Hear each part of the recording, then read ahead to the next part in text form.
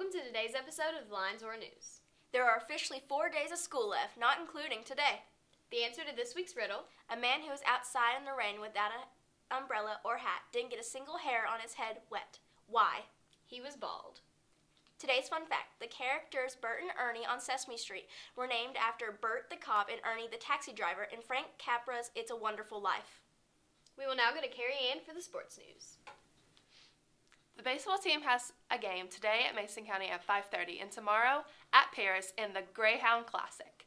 The track team will compete in the Buffalo Trace Conference today at Bracken County at 5:30. District play starts Monday for the softball team and the tennis team. Now back to you. There is another ACT test scheduled for July 15th with a registration date of June 16th. Students who have received award packages from colleges need to log in and accept them ASAP. See Ms. Sloan for any questions and let the counselors know what scholarships you've been awarded in preparation for awards day. Yearbooks can only be ordered online at yearbookforever.com. iTags can be ordered in place of name stamps. Notices are being sent to students who still owe for library books. Seniors must have all books, materials, and college classes paid in order to graduate.